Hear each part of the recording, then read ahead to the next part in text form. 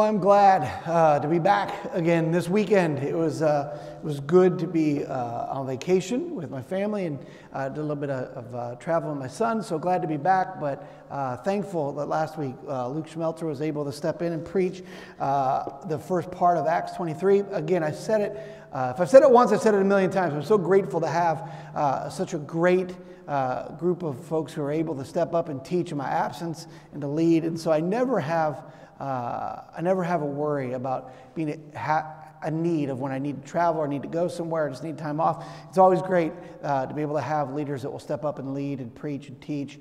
Uh, one of the things that I've said often, and, I, have told the guys this too, the guys on the lead team, the elders and deacons here at the church, one of the things uh, I've told my son, uh, and uh, and I mean it, and said it from, you know, I've said it for years now, that if anything should happen to me, that I would expect and desire for him to look to the other men that lead this church to say, look at these guys an example. And so, uh, again, just grateful we've got men in this room that are willing to lead and love and serve the church and the city well. So, thank you for that, Luke, last week. And uh, looking forward to uh, finishing off Acts chapter 23 this week. If you've got your Bibles, go ahead and open and turn them there. You want to find it in your phone, your iPad, or if you have it memorized, whatever it takes to get there. Uh, but uh, I just want to give you a little heads up here as we're going through the book of Acts. We're going to be wrapping it up. We've been going through it for over a year and a half now. We, we uh, journeyed through the Gospel of Luke together and then through the, uh, the book of Acts. The intention there was to go, what does it look like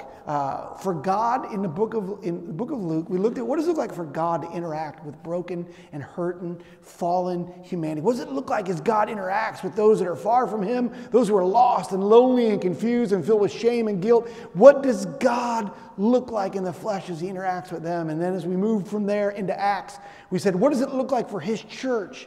Because as Luke writes the Gospel of Luke and then the book of Acts, he's writing to a guy named Theophilus, and he says to him in the book of Acts, he says, uh, in, in the gospel that I wrote to you, I told you all that Jesus began to do and teach. And then in the book of Acts, he says, I want to show you what the church, what Jesus continues to do in his world through his people. And so, one of the themes that have emerged through the book of Acts is looking at how the church does God's work in God's world, God's way.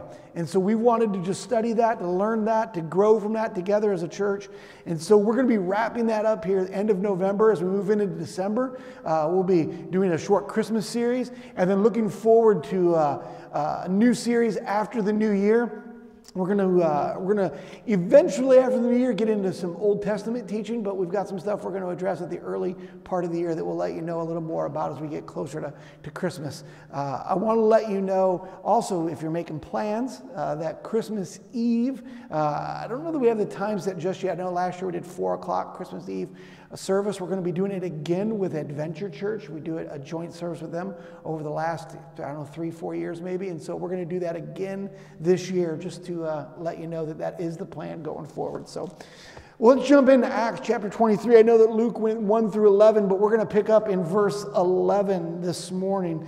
Uh, after, after some things happen in, in, in Paul's life, and he's, uh, he stands before the council, and he's, there's some reason for, for maybe some fear or some anxiety maybe in Paul's life. There's, he's being accused of some things. Again, we see him uh, being arrested just like was, was prophesied. And so he's, he's, he's arrested for his own safety, and he's taken into the barracks, which we said before was right off the, the temple grounds there. And, and so he's arrested for his own safety. They find out he's a Roman citizen. And so uh, Rome wants to get involved because they can't have Jerusalem be in chaos. At the Passover, that would look bad for them. And so at the end of that passage that Luke read last week, it says this The following night, the Lord stood by him, him being Paul, and said, Take courage. For as you have testified to the facts about me in Jerusalem, so you must testify also in Rome. Would you pray with me this morning? Father, we're thankful for this opportunity that we have to gather together in your name. We're so thankful, Lord Jesus, that uh, you love us, you care for us, that you see and you know what's going on in our lives. We're thankful, God, that you've left us not only a historical account or record of what you have accomplished through Jesus and also uh, through your church, as empowered by your Spirit, they moved into the world. But God, it's not merely historical record, it's your very word to us, and it gives us life, God, as we, as we uh, find Jesus in the pages of the scripture, as they point us to Him, and as we trust Him, and as you fill us with your Spirit, God, and teach us the word, uh, we become more and more like Him. And we're thankful for that. And we just pray this morning, God, as we look into your word, that you would do what only you can do, and that's convict us about the truth, about sin, and about righteousness. That God, that you remind us again of our need for a Savior and confirm uh, in us again one more time, God, that Jesus is indeed the Savior that we need. I pray that that would be uh, calming, it would be a solace to our soul. For those who are in the room this morning, God, who may be anxious, who may be nervous, who may be broken. There's some in this room maybe who feel ashamed, who are carrying a weight of guilt. And I pray that today that they would they'd hear your voice, God, that they would sense your spirit lead them to trust you, God, and that they would learn that grace tells a better story. And they would confess those things, God, in their lives that may separate them from you, and that you would teach us how to better follow you. In Jesus' name, amen. So again, the following night, the Lord stood next to Paul and he says, Take courage. As you've testified about me in Jerusalem, you must also testify in Rome. This is a promise. Jesus just told Paul, Paul, take courage. I know there's a lot of chaos going in your life. There's a lot of moving parts. There's a lot of things that could cause you to be afraid. But don't be afraid, Paul. Take courage. As you've testified about me here in Jerusalem, you must also do that in Rome. So Jesus tells Paul, Hey, I know that it feels like the world around you is crumbling a little bit. I know, I know that this scene may seem all too familiar to you. In fact, let's think about it for a minute. He's in Jerusalem around Passover. He's been lied about. He's been uh, hastily brought to a trial that the Israelites threw together because they want to put him to death. Sounds a lot like what happened to Jesus. And Jesus is standing next to Paul and says, All this may seem familiar to you, Paul, but it's it's going to be okay. It may not be easy, but I'm, I'm telling you, Paul, you could, be, you could be strong, you could be courageous because you testified about me in Jerusalem. You're going to testify about me in Rome. You ever had a moment like that where you just needed to hear from the Lord? Maybe it was maybe it was something going on in a relationship, maybe it was a health issue, maybe it was just some anxiety or something that came into your world that is that turned your world upside down and you just needed to know that Jesus was with you. And maybe it was through some time in prayer, or maybe the, the words of a friend, or maybe it was spending some time in the scripture. And you were just reminded again that Jesus has promised that he would not leave us or forsake us. That if indeed we are in Christ, that his spirit dwells within us, and the same spirit that raised Christ Jesus from the dead is alive in you and I, and that you and I are in fact, indeed, never alone. You ever have a night like that? Heads on the pillow, you don't know how tomorrow's going to go.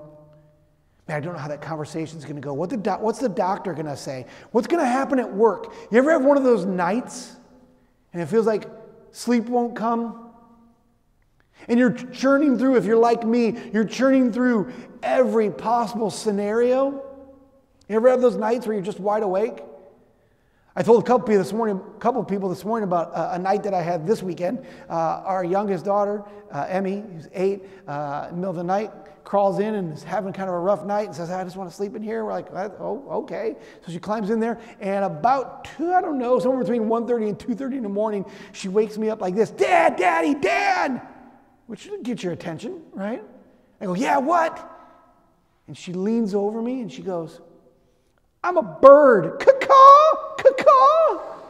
I'm like, what? What? And then she slowly lays back down, to which I'm terrified now, right? And so I don't know if you've ever had that moment. So now I'm laying in bed like this. Not a bird, not a bird, not a bird, not a bird.